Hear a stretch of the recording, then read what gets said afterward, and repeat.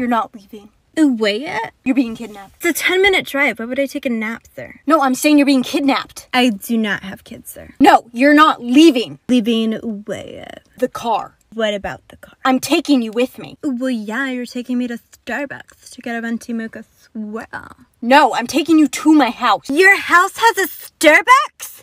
How did you do that? No, it doesn't. Oh, okay. Then just take me to the one 10 minutes away. Are you an idiot? I'm Italian, actually. You're a nut job.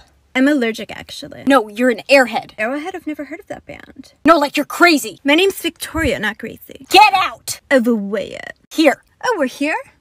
We haven't moved!